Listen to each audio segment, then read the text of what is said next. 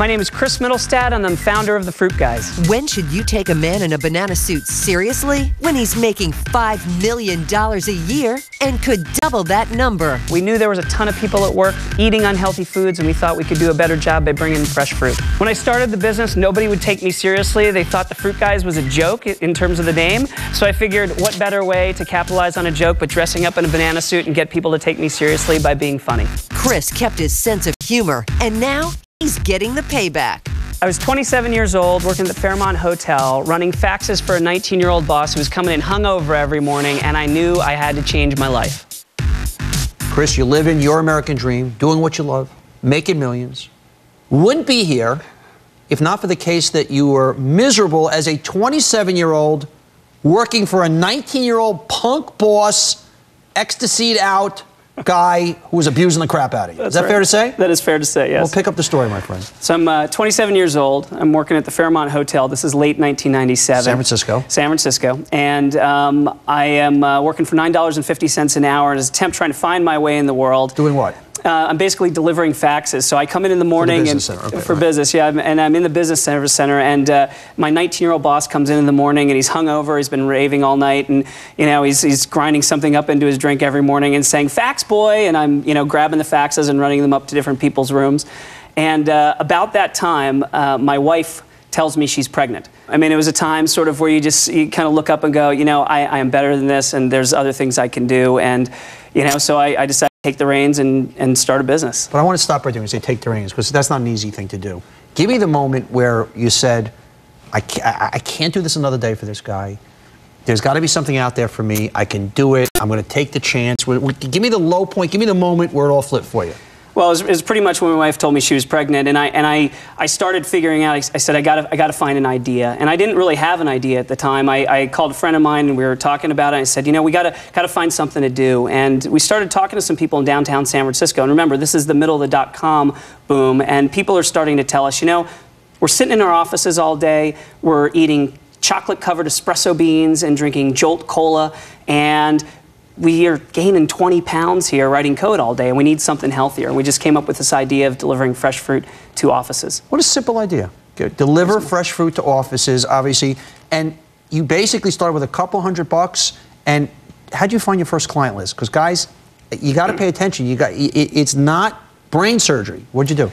No, so what we did is I, uh, I, I, I, didn't know enough to know any better, so I went downtown to the Embarcadero Center, which are these big you know, uh, buildings in downtown San Francisco, and I would go in with a little flip notepad, and I would go in and I would um, look at the electronic screens, the listing of the directory of all the accounts, and I would write down the names of all the companies in there about every 15 minutes. The security guard, who I quite honestly got to thank if he's out there, you know, I, I, thank you very much for even allowing me to do that.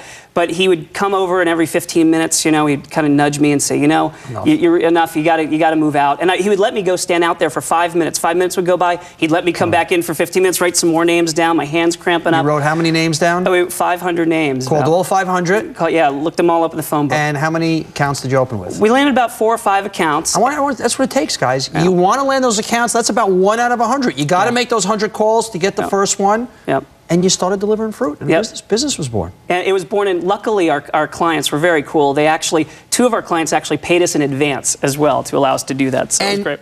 You do under the guise of doing whatever it takes you don the banana suit. Well, you know, uh, with a name like the Fruit Guys, people actually didn't take me seriously when I started the business. So I figured, you know, if we're going to be silly, I might as well dress up in a banana suit to get attention and let people know how serious I am about the business by being silly.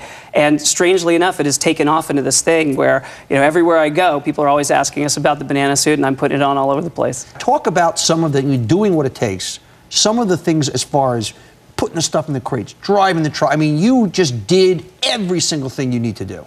Yeah, so I mean, from the very beginning of the business, we're you know we're family-owned business, and we've grown it by ourselves. So we've really had to take an approach where you know I've had to do all the details of the business to get it launched. We didn't take outside money, so you know I would be up at midnight in, in the mornings and buying fruit, and then you know putting the fruit in boxes, putting it onto trucks, driving the trucks to the offices, making the deliveries, come back, doing the accounting, doing the sales. I mean, it was it was 18-hour days in the very beginning, and that was you know it really was a marathon stamina race, and that's one of the things that you know when people ask me about what being an entrepreneur is, you just you got to hang in there, and that is such a key part of what How we've old are you now? I'm now 38. So literally, it was just 10 years ago. You were working for this 19 year old going fax boy, fax boy. Yep. Also, great lesson. Of course, it doesn't certainly always go smoothly. Dot com boom.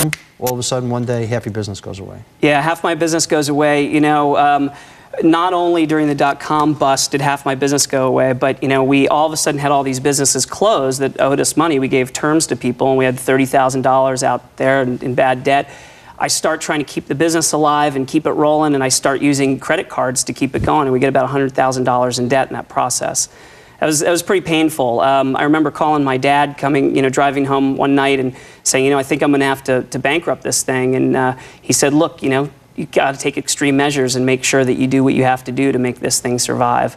And uh, you know, our business starts early in the morning, so I decided I had to lay off half of the staff. So you know, I'm very upset about this. I get in the car around two o'clock in the morning. I start driving to work, and I feel sick, and I pull over the side of the road. And I throw up. You know, I'm so stressed out over this.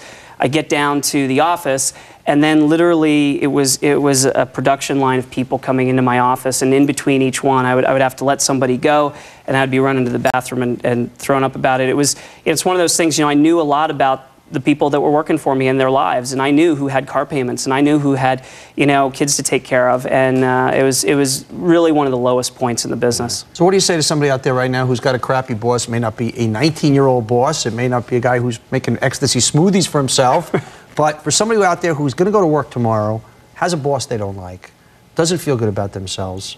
How do you how do you pump them up to give them motivation to go after their American dream? Well, you got you got to believe in it 100%, and you have to. You know, I had a lot of people tell us this was never going to work, and you have to you have to have enough. Um, I don't know if it's rebellion or just inner fortitude, just to say, you know what, I don't care what other people think. I'm going to try it. I would say structure it in a way so that by taking that risk, you're not going to sink yourself in the process. Take little bites of it as you go, and just kind of get some feedback and see what you got. Good stuff. Chris Mittelstaedt, Thank you. Chief Banana for the Fruit Guys. More big ideas straight ahead.